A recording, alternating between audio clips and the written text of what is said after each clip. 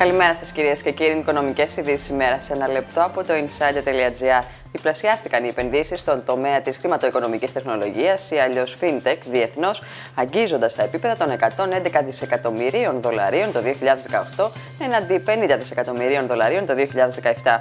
Ειδικά στην Ευρώπη, η ρυθμή αύξησης ήταν ακόμα πιο εντυπωσιακή. Πονοκέφαλος τόσο προκαλεί στις εποπτικές αρχές αλλά και τα χρηματοπιστωτικά ιδρύματα, η κυβερνοασφάλεια καθώς και η συμμόρφωση των νέων εταιριών στο εποπτικό πλαίσιο και τους κανονισμούς.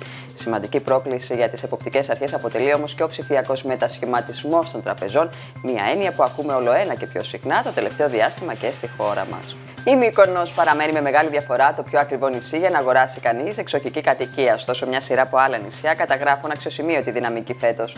Μεταξύ αυτών η Έγινα, η Σκόπελος, η Ιθάκη και η Κύθνος. Η Σαντορίνη, τώρα το δεύτερο πιο τουριστικό νησί της Ελλάδα μετά τη Μύκονο, καταγράφηκε την μεγαλύτερη αύξηση τιμών 18% πάνω σε σχέση με πέρσι. Στον αντίποδα, μεγάλη πτώση καταγράφουν τιμές στη Σκιάθο, έχοντας υποχωρήσει κατά 16,6% μέσα σε ένα χρόνο.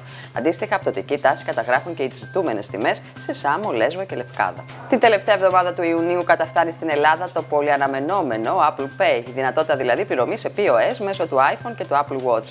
Σύμφωνα με τις υπάρχουσες πληροφορίες, οι εταιρείες που θα δώσουν τη δυνατότητα για τη χρήση της υπηρεσίας είναι δύο. Η γερμανική fintech startup Ni26, η οποία είναι ιδιαίτερω δημοφιλής στη χώρα μας, και η Interred, η οποία προσφέρει στους πελάτες της και την προπληρωμένη κάρτα Spendeo. Τότικα κινείται η χρηματιστηριακή αγορά στο σημερινό άνοιγμα της συνεδρία με το γενικό δίκτυο κειμένο 831,07 μονάδες, καταγράφοντας απώλειες 0,68%. Μικτέ τάσεις επικρατούν στα ευρωπαϊκά χρηματιστήρια. Για περισσότερες ειδήσεις στο insider.gr.